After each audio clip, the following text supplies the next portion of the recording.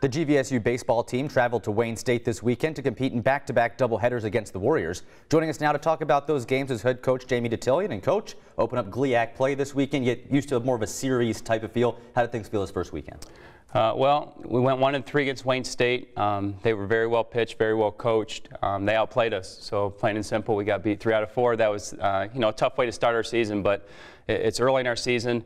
Um, we've practiced zero times outside on our field, and we're 19 games into our schedule. So that makes it a little challenging, but uh, we got to take our best step forward and, and uh, you know, continue to grind and work on some stuff and, and, get better. As you said, we're obviously not in Florida anymore. I can't really practice outside so much. What's the difference when you come from those warmer weather games back to the cold weather like this? Uh, well, you, you, know, like I said, just being able to get outside and practice on, on our field um, and get some, you know, game speed reps is really a big deal right now.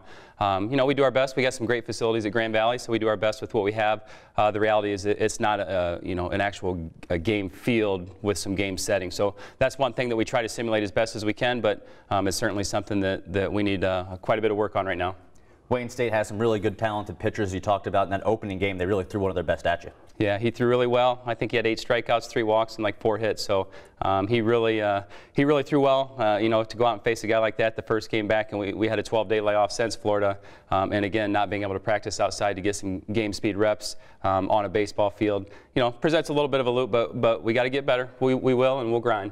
What are some of the things you can do to simulate that real game speed when you're not outside like that? Well, you can do a lot of scrimmaging. We can do a lot of inter squad. We can do a lot of stuff on a field. We can present a lot of scenarios, put you know put different outs and situations and stuff on the field, and, and give our guys a, a real feel for it on our field. You're also trying to work with that lineup quite a bit, a little bit. I know you've had some injuries that have caused some havoc, but this weekend, did you find anything out about your lineup? What did you like from your team? Well, I, I, still think we have some guys that compete. I think if you look into day two of the series, you know, looking at how we ended game, uh, you know, game three, we had a comeback, you know, win, and that was good to see how well we competed uh, because we had been down the first two games and really going into that, that last inning of the third game, we'd been down the entire weekend. So um, that was good to see. There was some resiliency, some, some battle there.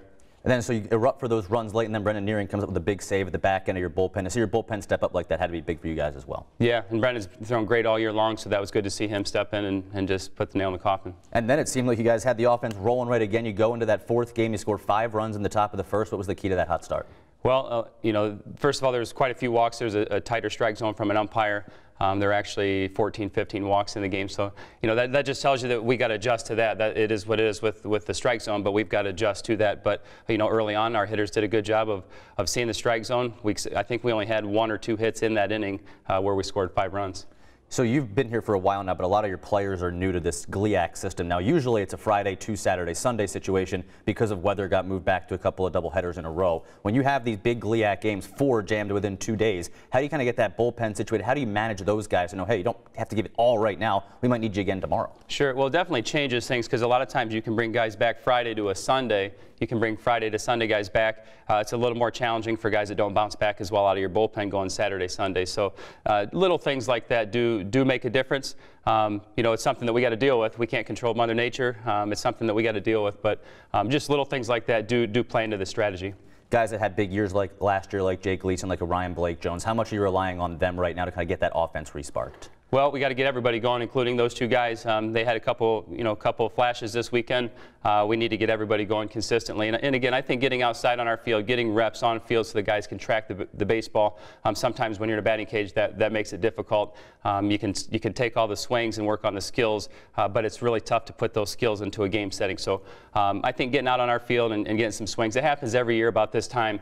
Uh, we just need to get a lot of reps in on our field and, and you know get back to normal. That probably helps defensively as well, right? Some of those true hops off the grass? Yeah, for sure. Uh, you know, and, and again, we got a great facility with the turf. Uh, sometimes maybe we're uh, we're a little too spoiled because we're getting a true hop every single time, and you know that's not how it goes on a on a base on a natural surface baseball field. All right. Well, one weekend in the book for the GLIAC. As we look forward now to this weekend, what can we expect? Well, Saginaw Valley just they're coming off of a you know a 3-1 series out of uh, or with Davenport, so they played pretty well. Um, so uh, we're going to have our hands full.